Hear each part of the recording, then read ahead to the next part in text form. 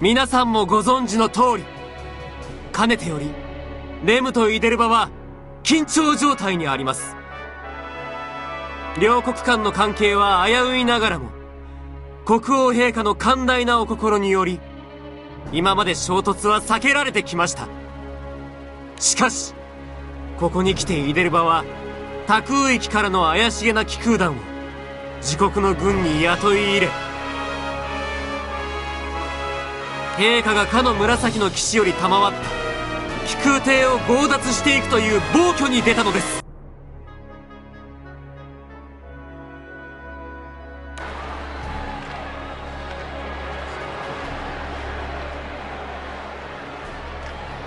これは我々レム王国に対するイデルバからの明確な攻撃に他なりません。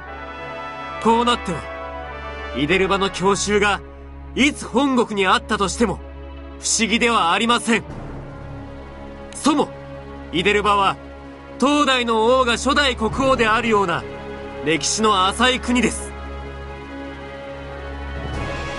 王家の血筋をトリッド王国での貴族時代から脈々と受け継ぐ由緒正しいレム王国が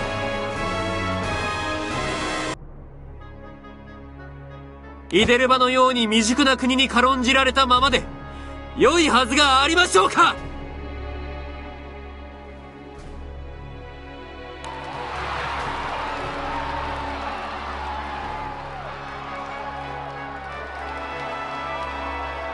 イデルバの動きからするにもはやレムとイデルバの全面戦争は必至。なればこそ今こそ歴史あるレム王国の本当の恐ろしさを。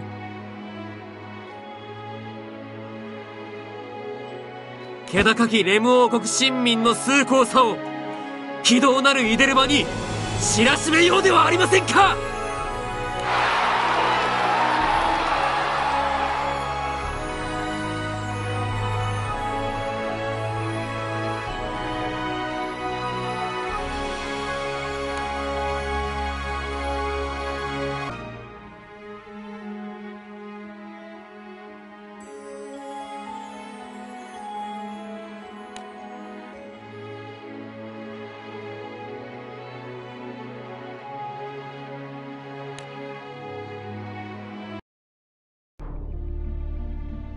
ギルベルト様、先ほどの演説、実にお見事でございました。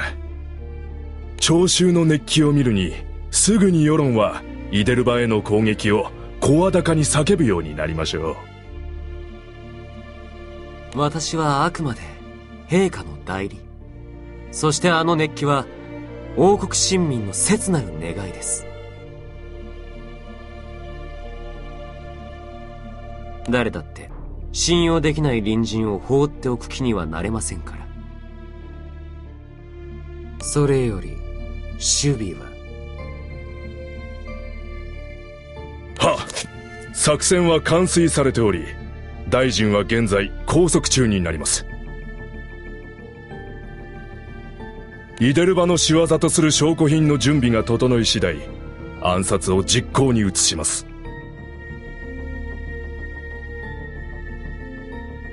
あれだけの証拠を用意してやれば、巷の憲兵でも、イデルバによる暗殺という結論にたどり着けるかと。頂上です。それで、例のレジスタンスの幹部については？すでに事故に見せかける形で始末は済んでおります。結構、ご苦労でした。これで穏健、ハンセン派は、求心力のある旗頭であった大臣を失い、一気に瓦解していきますね。穏健、ハンセン派の次の指導者は、まあ、数年は固まらないでしょうし、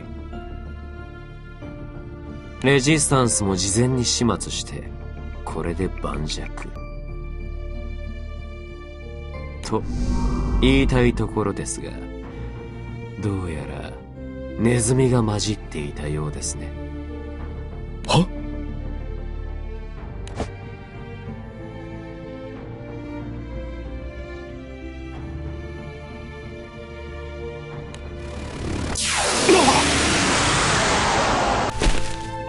な何が？密偵ですよ。おそらくはイデルバの軍に潜り込んで死角から立ち撃きをしていたようです。もう息の根は止めてありますので死体は隠密に処分しておいてください。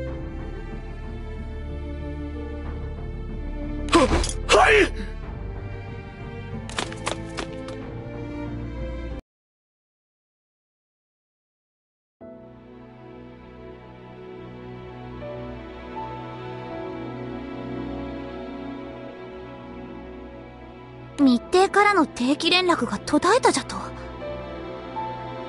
レム王国軍に潜り込んでいたものですが期日を超えたにもかかわらず報告がありません。何らかの事故やむを得ない遅延等の可能性も考えられません。何を言うておる。密偵からの連絡は途絶えた時点で有事と見るべきじゃ。それもレムの軍部におったものか。これはもう嫌な予感しかせぬな。安否の確認は続けつつ他のレムに送り込んでいる密偵たちにもこのことを伝え情報を集めよ。すでにことは動いているのやもしれぬ。レムが侵攻してくる可能性もある。軍部には本島防衛の警戒度を上げるよう伝えておくのじゃ。御意すべて杞憂で済めばいいんじゃわの。な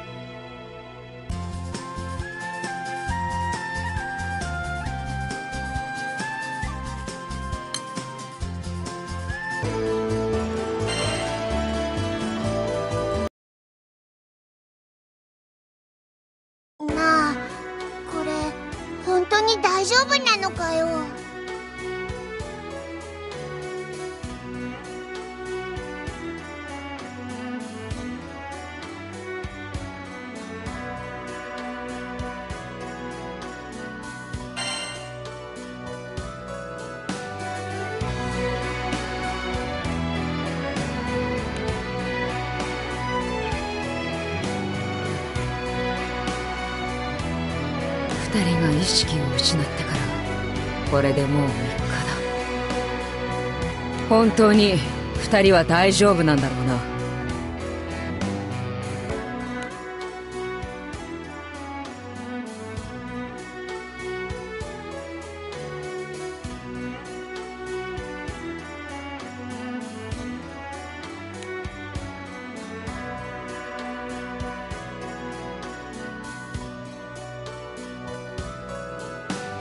仮とはいえ彼らは今青少獣との契約状態にある。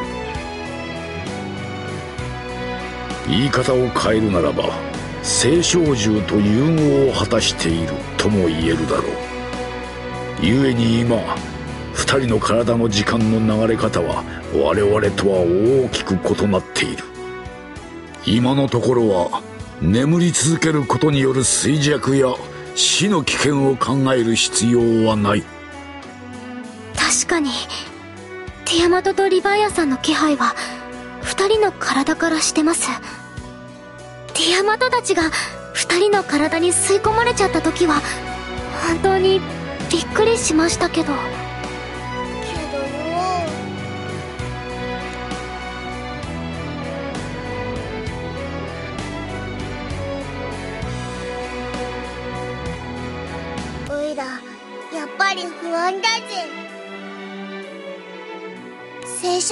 はそもそも星の民が作ったもんだろその契約とかって星の民じゃなくてもそんなあっさりできるもんなのか？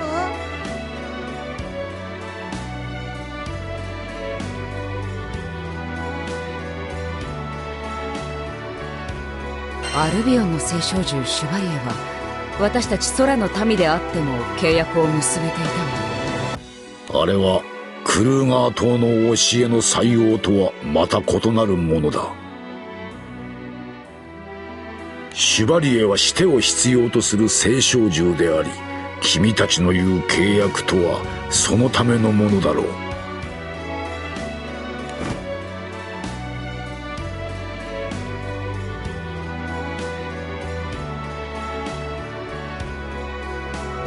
そもそも聖少獣とは空の世界の存在が元となっているものだ。それを考えれば同じ空の世界の民が聖少獣に干渉できてもそれほど不思議ではないだろう。そして空の世界と星の世界は起源をたどれば決して遠い存在ではない。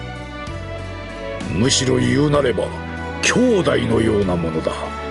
同じ親を持つという意味ではね。兄弟だと？空の世界と星の世界がそれほどまでに近い存在だというのか？例えるならばだがね。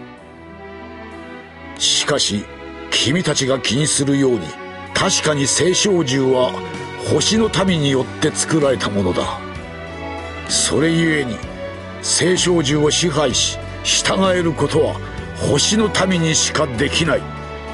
しかし空の民であっても互いを認め対等な存在として青少獣と並び立つことはできる。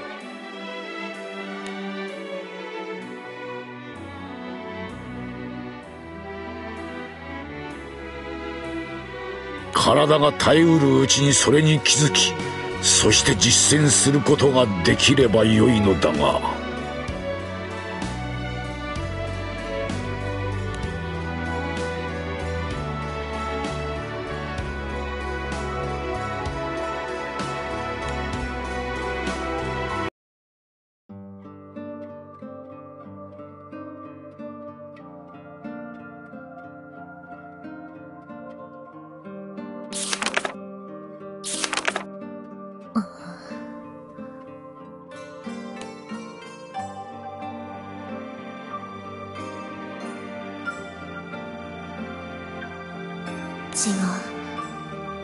れにもつながりそうな情報はない。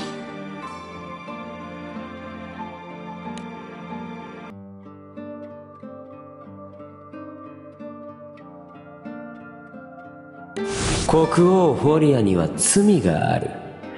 あなたの使えるイデルバ王国は罪の上に築かれた王国です。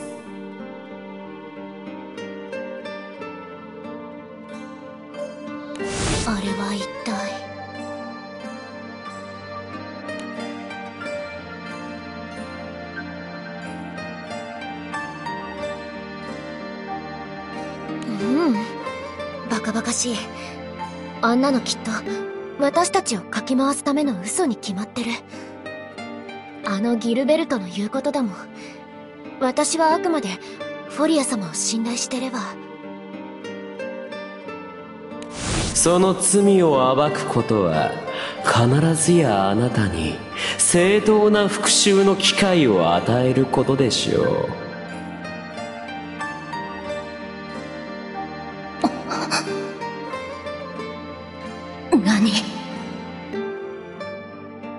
言葉通りです。信じるか信じないかはお任せしますが。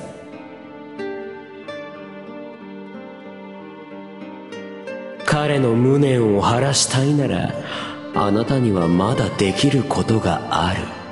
ということですよ。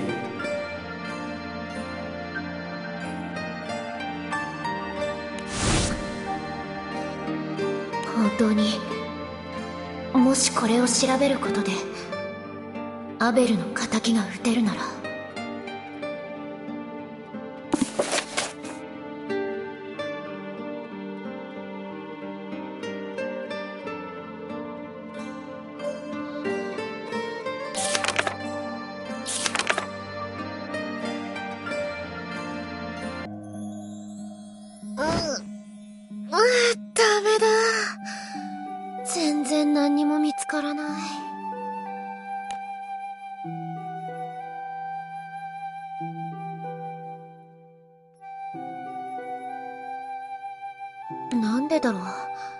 イデルバ王国に関する資料はいろいろ出てくるんだけどな。でも、フォリア様に関する資料だけがない。どこの空域のどこの島の生まれで、両親は誰なのか、家族関係、本当の年齢、強大な魔力を持ってイデルバ王国の建国を成したとはあるけどそれだけ強い力を持つフォリア様がイデルバ建国以前何をしていたのかイデルバ王国の王として登場する以前のフォリア様の記述が全然見つからないあでも確か妹さんがいるとはおっしゃってたっけでもこれだけじゃなエルーンの姉妹なんて珍しくもないし。うーん。こうなったらいっそ、フォリア様に直接聞いてみるとか。ちらり。フォリア様？どうしてここに？っていうか、いつから？ここはわらわの国で、その王宮ぞそれだけでわらわがおることに何の不思議もなかろうできることならあまり玉座からも離れないでいただきたいですがね。うんそなたはわらわに一日中堅苦しく座っておれと申すのか？日に何十件とある謁見をこなすにはそれも致し方ないこと。あれはもっとこう。スパッと終わらせられんもんかな。長ったらしい挨拶など日に一度でも十分すぎるほどじゃ。時効の挨拶の簡略化については検討しておきます。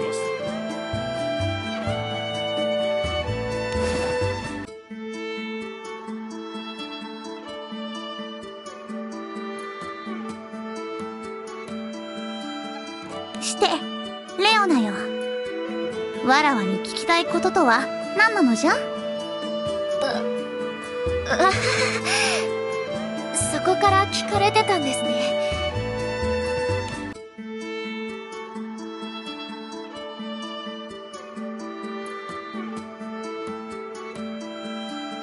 あの私ごめんなさい。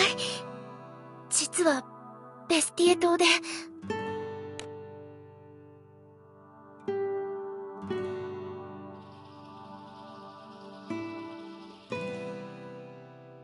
めんなさい。これって、陛下への配信行為ですよね。私への罰はいかようにでも。いや、よい。その必要はない。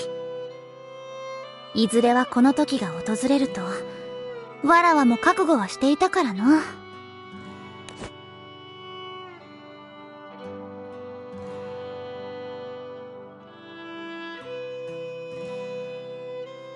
白卓力を解くのじゃ。お言葉ですが我が王よ。それは必ずやほころびとなり全ての崩壊を招くでしょう。一国のこのイデルバの王として今一度どうか賢明なご判断を。しかしな。白卓よ。これは最初に決めたことじゃそれはお主も知っておろう。しかし、王よ。イデルバは大きく成長した。もはやわらわが治めずとも、国は回ろうぞ。民あってこその王じゃ。民あればこそ、王の代わりなど、いくらでもいる。お主にこのようなことを言うのは、さすがのわらわも、ちと心苦しいがの。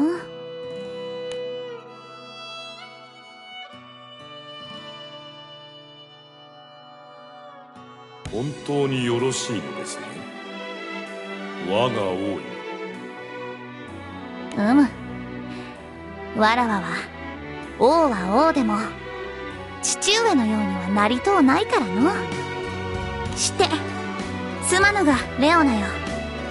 頭を低くし白卓の前に膝をついてもらえるか？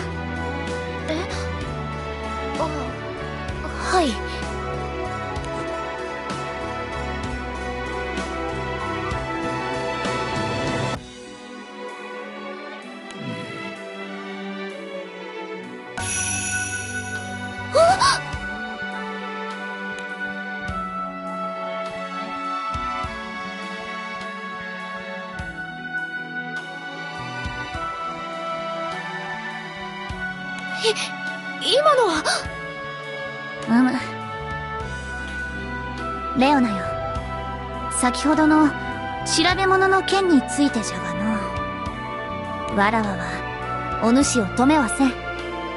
むしろ気の済むように調べ続けるといい。お主の望んだ真実にたどり着けるように。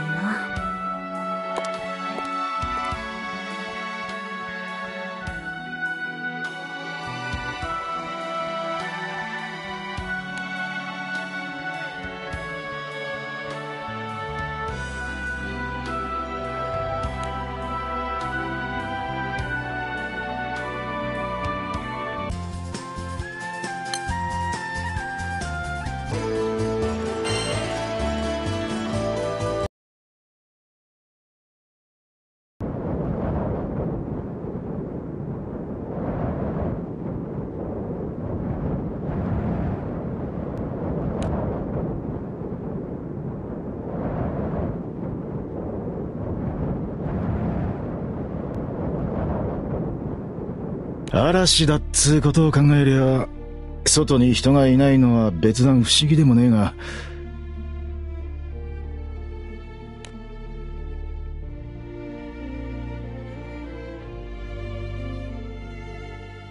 そうじゃねえな。根本的に人の気配ってのが一切ねえ。しかし、最初から誰もいなかったって感じじゃねえな。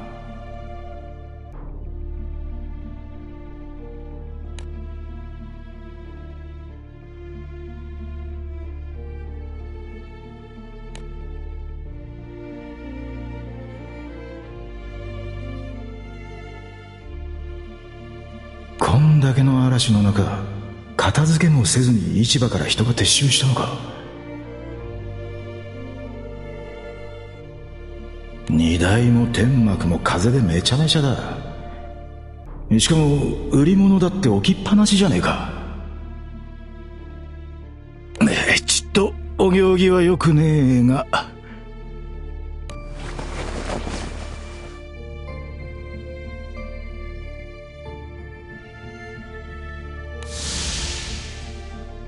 ばっかちげえよ。誰が火事場泥棒なんざするかってんだ。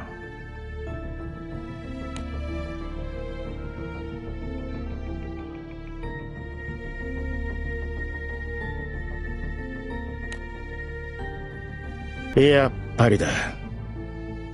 どこも売り上げの類だけは持ち帰ってるみてえだな。しかし売り物をしまうことも天幕を片付けることもしてねえ。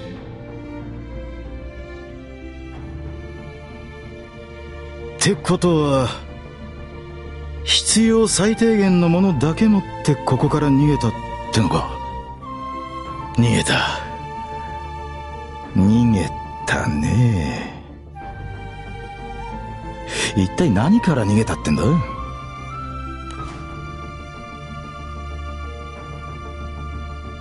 まだ情報が足りねえな。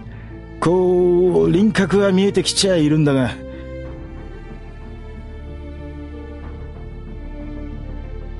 しかし町の奴らが何かから逃げたってんならそう時間もなさそうだ。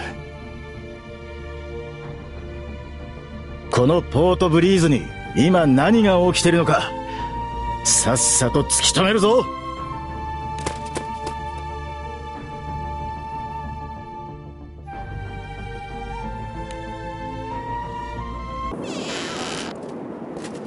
ダメだな。ここにも人っ子一人いねえ。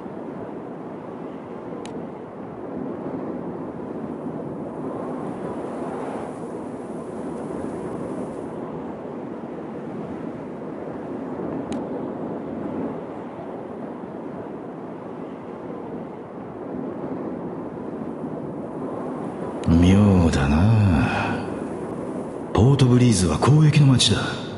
決して人口は少なくねえ。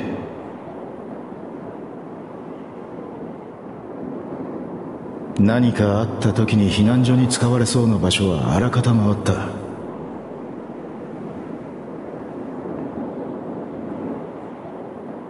しかしそのどれにも一っ子一人いやしね。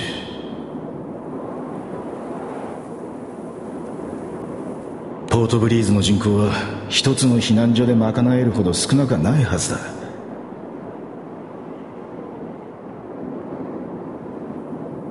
となるとそもそも町から人が出てったってことか？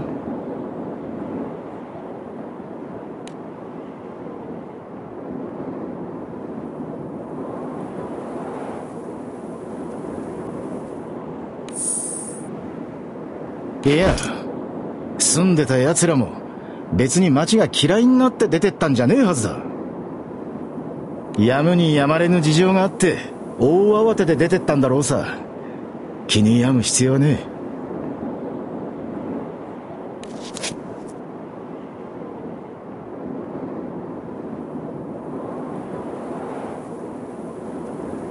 さてとこの状況で人がいそうな場所はここで最後なんだが。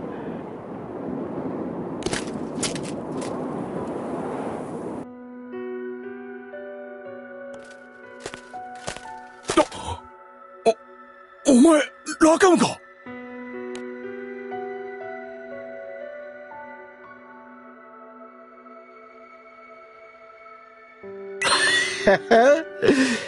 なんだよ。ここに避難してたのか。しかしそれにしてもえらく人数が少ねえみたいなが。当たり前だろう。ここじゃ結局、避難したことにはならないんだし。けどラガム、お前も残ったんだな。いや、そうか。そういうやつだよな、お前は。あ悪いちょっと状況が飲み込めねえんだが聞かせてくれねえかポートブリーズに一体何があったのか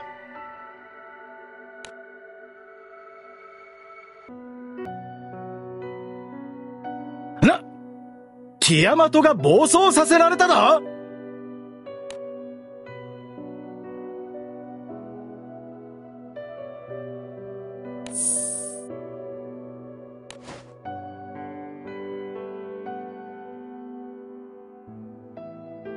ここの奴らにこのティアマトは見えてねえのか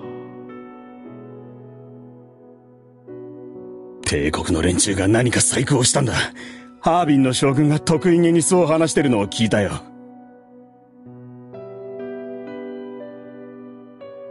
青少獣なんて、もう誰にもどうすることもできなかったからね。みんな必死で気空艇に飛び乗って、ポートブリーズを離れたのさ。けどこの嵐だ。どれだけの気空艇がちゃんと隣の軍島へ行けたのか。それに帝国の奴らは、避難する気空艇を容赦なく攻撃しやがったんだ。もう嵐がどんどん強くなってるから、帝国の奴らもポートブリーズを離れたみたいだけどな。いよいよ、ポートブリーズの崩壊が目前に迫ってるってわけだ。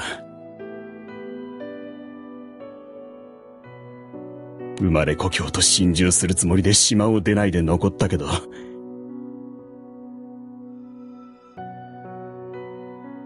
いざその時が近づいてみると、やっぱ怖いもんだな。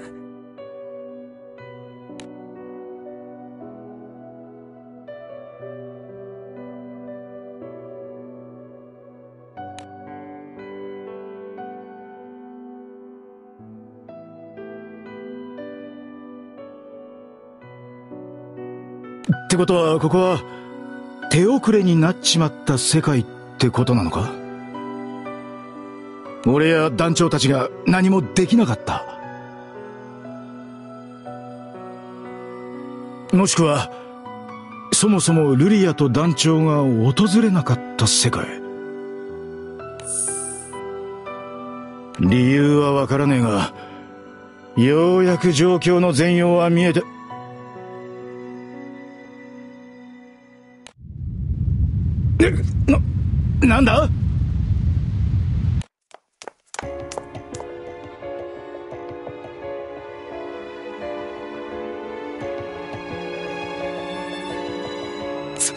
ついに始まった。軍闘が崩れ始めたぞ。ウングッド城から見えたんだ。このエインガラ島も橋から崩れて嵐に飲まれ始めてる。ここが崩壊に巻き込まれるのももう時間の問題だ。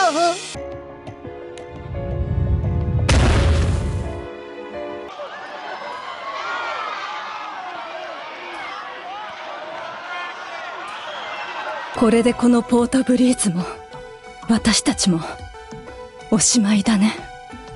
最後にまた、あの青空を見たかったけど。さどうしてどうしてこんなことになっちまったんだ？今この状況には俺たちだけが知っている二つの大きなズレがある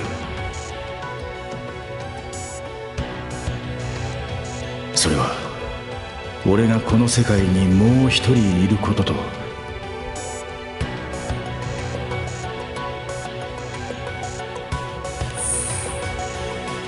ティアマトもまた暴走している奴は別にここに確かにいることだ。この世界は俺が知っているポートブリーズの顛末とは明らかに異なってる。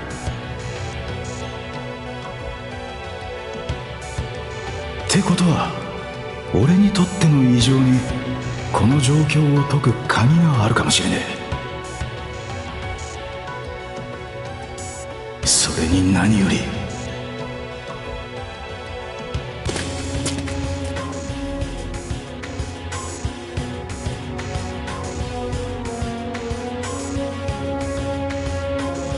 行くぞティアマト。ここがどういう世界であれこの街を空の底に落としてたまるか。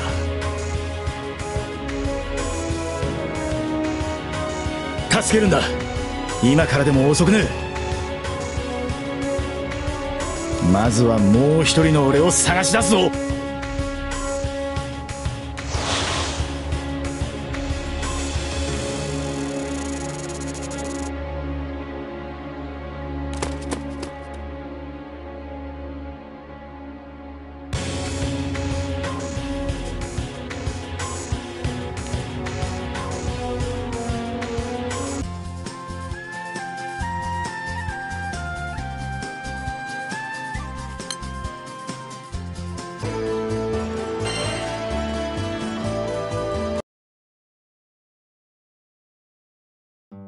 じゃあ、行ってくる。はい、いってらっしゃい。今日の帰りはどのくらいになりそうなの？あ、ああ、そうさな。ちっと厄介な内容なんだ。今日は遅くなるかもしれねえ。すまねえな。家に一人にしちまってよ。一人じゃないってば。だって、この子がいるもの。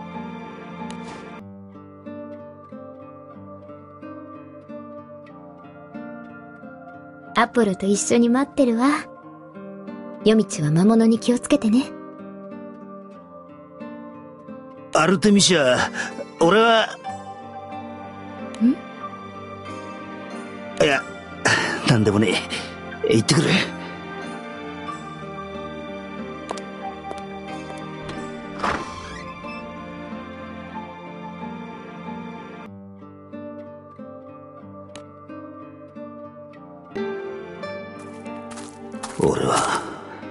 クルーガー島の教えの採用に至って元の世界に戻らなくちゃならねえ。そもそもこの世界に来たのも最初はそれが目的だったはずだ。目的は確かにそうなんだが。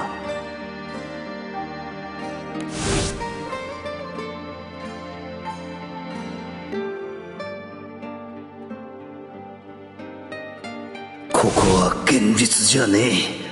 こんな過去はなかったんだ。この世界はきっと夢みてえなもんだ。だから俺は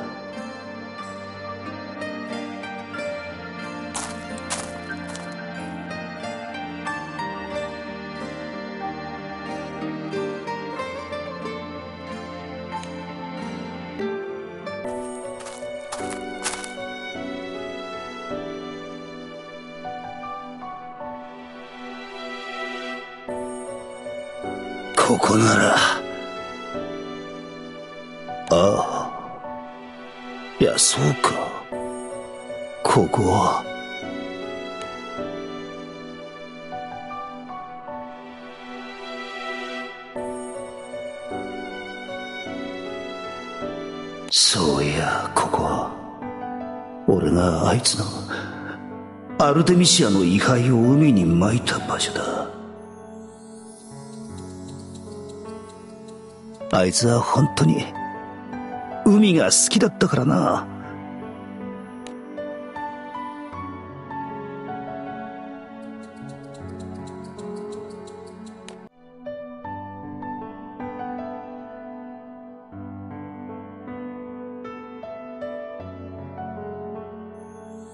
遺灰をまいてここで俺はアルテミシアと最後の別れをしたんだ。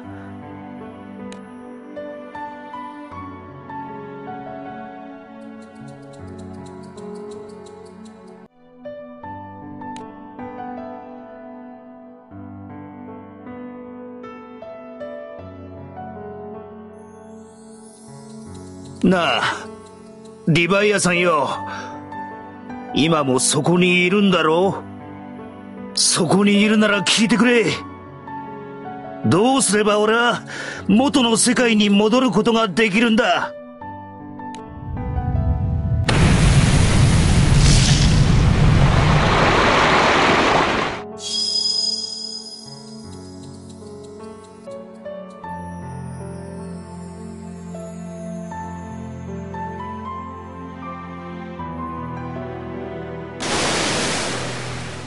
リヴァイアさんよ。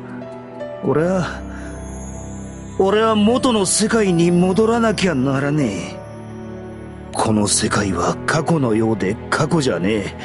現実とは異なる世界だ。とするとあのゼーンの言っていた仮の契約。俺とお前が繋がったことが関係してるんじゃねえかと思うんだが。教えてくれ。お前は何を知ってるんだ。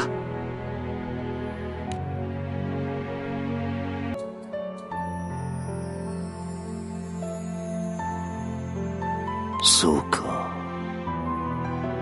ってことはもしかするとこの世界には俺とお前以外に何か鍵があるのかもしれねえ。そいつを探し出すことがこの世界を脱出する最初の手がかりってことか。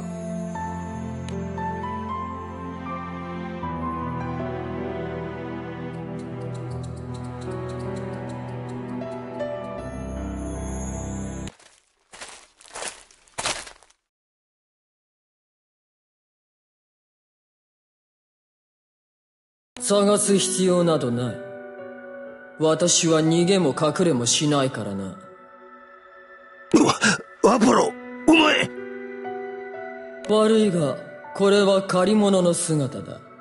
そもそも私は本物のアポロニアではない。何？じゃあお前さんは何者だってんだ？私はお前の思う。お前を苛む罪の姿この世界の象徴と言ってもいい。お前の選択を答えを聞きに来たぞ。おいげ私こそがお前の言うこの世界の鍵。この理想世界の核だ。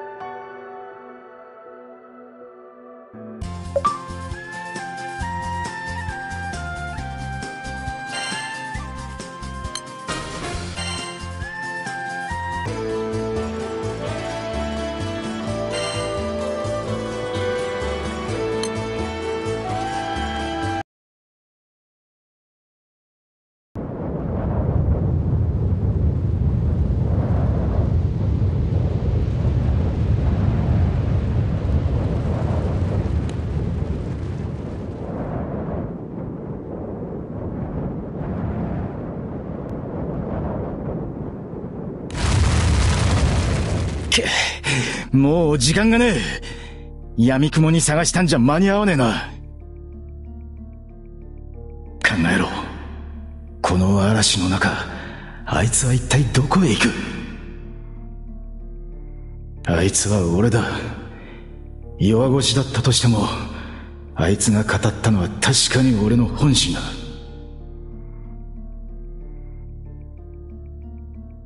あいつもきっと、この世界と同じだ。あり得たかもしれない可能性。悲劇をたどった世界の末路。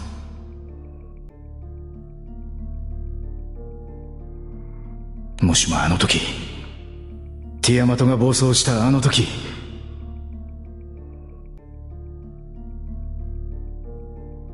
何の手立ても持たずただ滅びを受け入れるしかなかったとしたら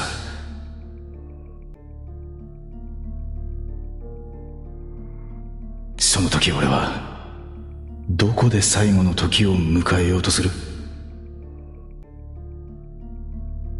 んなもん決まってんだろ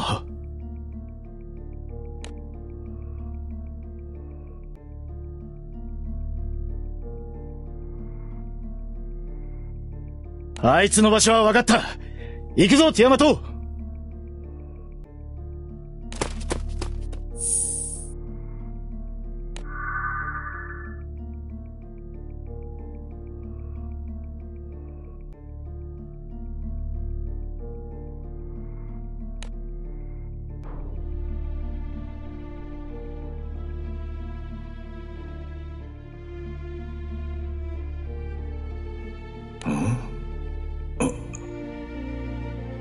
探したぜ。お前が俺ならここ以外にはありえねえよな。思えばこの時の俺にとってグランサイファーはかけがえのないものであると同時にどうしても拭えねえ恐怖の象徴でもあったんだ。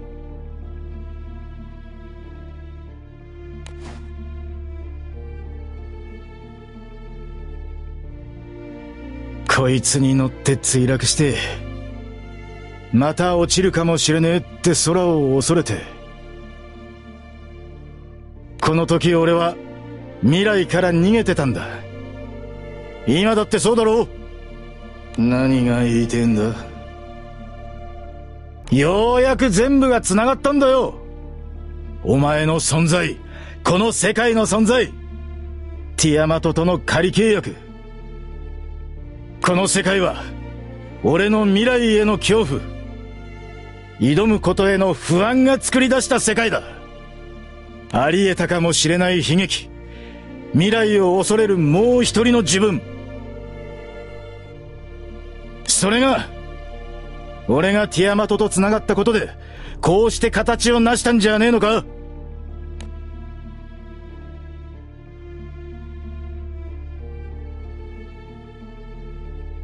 残念だが、それじゃあ半分だな。ポートブリーズの崩壊を恐れても、俺だけじゃねえんだよ。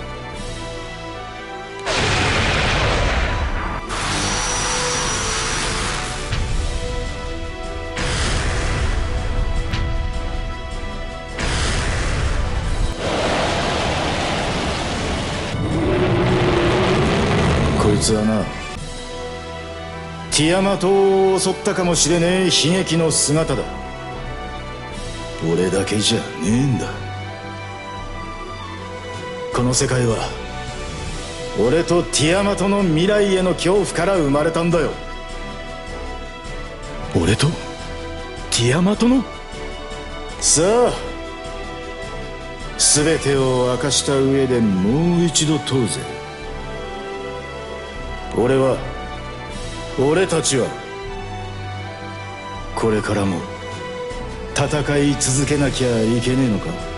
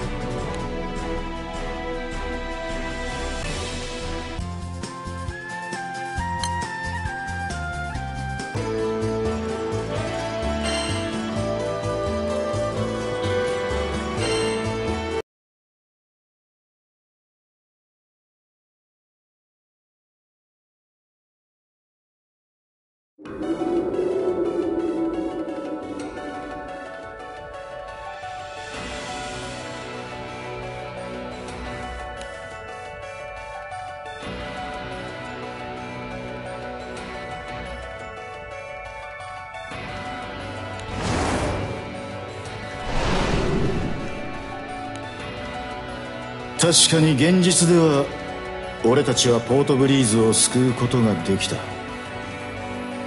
だがほんの些細なズレがあればポートブリーズはこうなっちまってたんだぞ。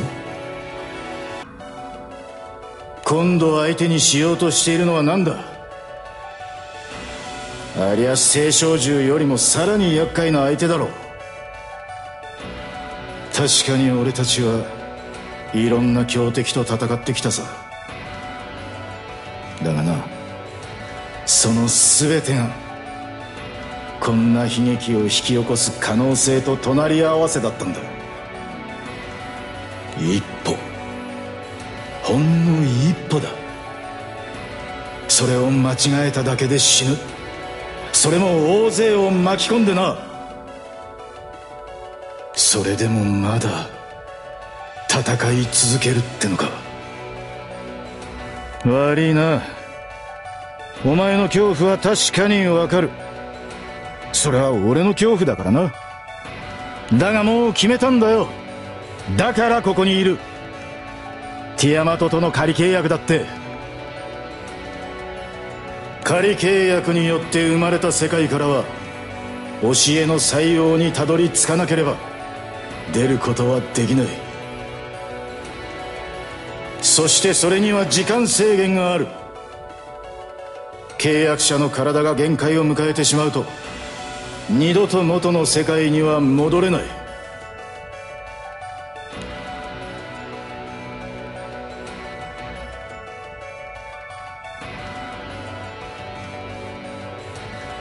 これには一つ穴がある。ゼーンがあえて俺たちには言わなかったことだ。なんだと？教えの採用に至れなかったからといって必ずしも契約者が犠牲になることはねえ。契約を結んだ青少獣が自ら消滅を選ぶことでも契約者はこの世界から解放されるんだ。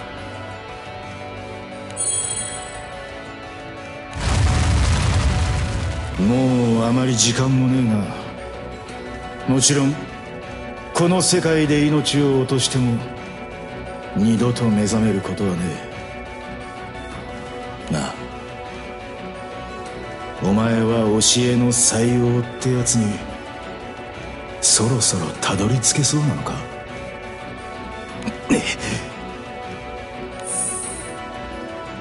ついでに言えばルリアに預けられている聖少獣は全て元の聖少獣の写しみだ。ここで失われようとポートブリーズのティアマトに大きな影響はねえ。てめえそれがどういう意味か分かっていって。うわっ！うわっ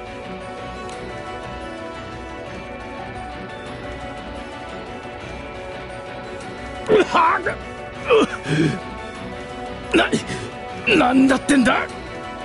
限界が来たんだな。この世界と現実じゃ時間の進み方が違う。現実の体はもうこれ以上聖少獣との無茶な融合に耐えきれねえんだ。うわな、なんだとこの島が崩壊するまで持ちそうにね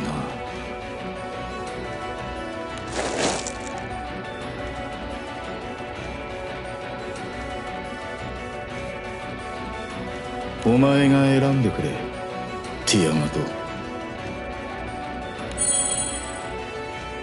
ここでラカムを死なせるか自分自身が犠牲になるか。よせやめろ。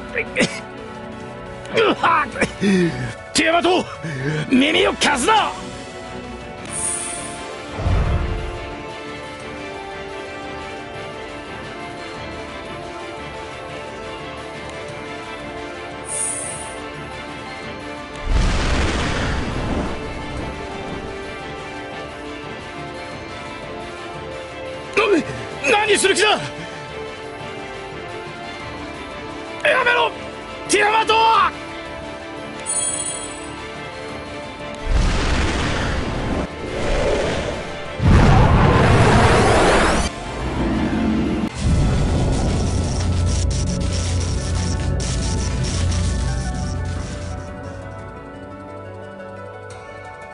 守護神が聖少獣が心を持ち人と絆を育むこと自体が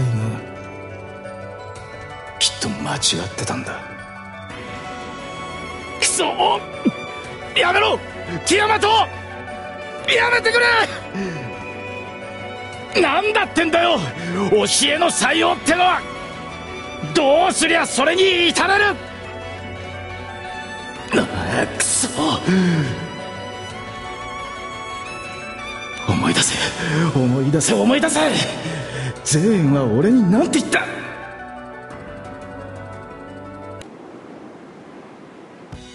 聖少獣と互いに理解を深める必要がある。ラカム君の場合はもう一つの絵西の方が教えの採用にすぐに至れそうだったが。どうにも彼はルリアに力を預けていなかったようだからね。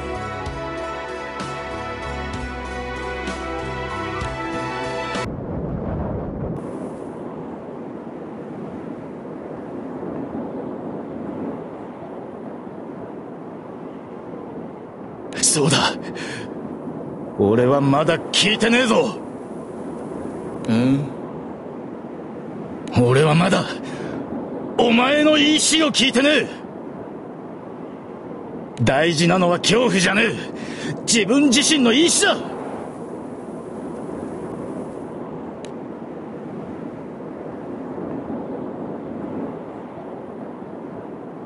お前はどうしたいんだ？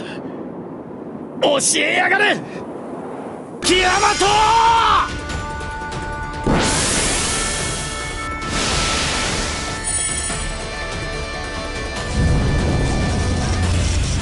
ああそうだ俺には最初から分かってたんだロゼッタもノアも星晶獣だからって仲間じゃねえと思ったことなんざ一度だってなかったそれは他の青少獣もティアマトだって変わらねえ。ティアマトが仲間が戦うことを未来を恐れるならその隣で肩を並べて戦えばいい。恐怖に立ち向かうには一人じゃなきゃいけねえなんて決まりはねえ。恐怖にくじけそうになった時互いに手を伸ばすのは決して弱さなんかじゃねえんだ。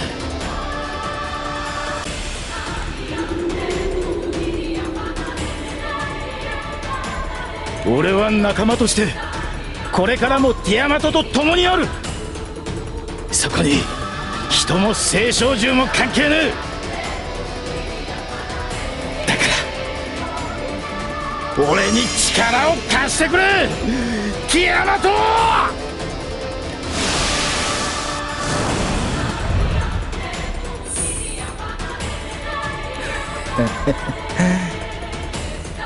全のおっさんなんつう回りくどいことしてくれやんだよ。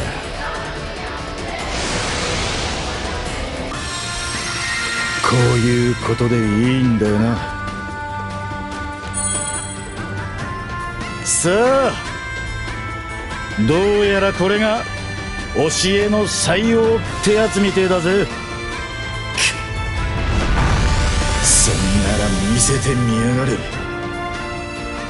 その教えの採用に悲劇を超えるだけの力があるのかどうかをな。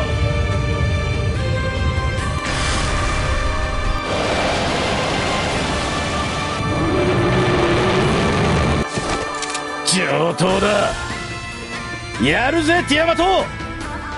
俺たちの力を見せてやれ。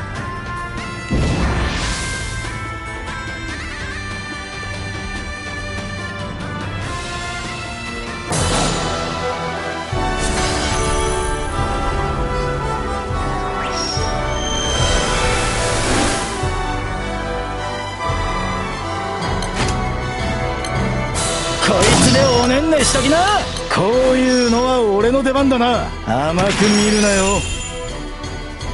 こっから飛ばしてくぜ。おせそこだ。無茶はするんじゃねえぞ。おせおせ。くらえくらえ